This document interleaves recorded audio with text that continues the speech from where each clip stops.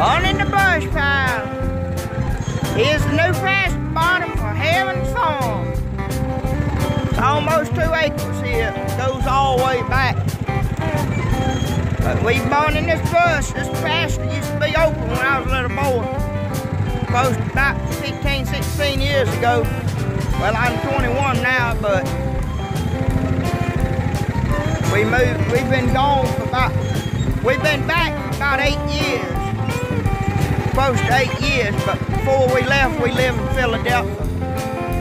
Um, means it's, it's been growing up for a good many years, but we bonded it off.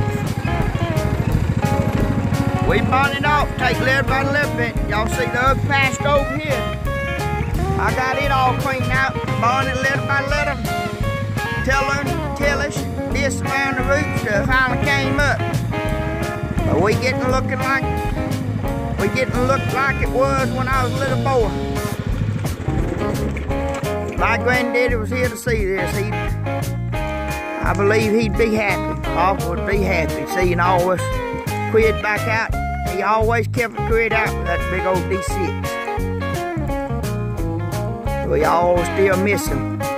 But when I'm out here pushing or walking down these trails he made, I still feel still, I still can sense him and feel like, like it was when we was younger, when I was younger on the dozer with him.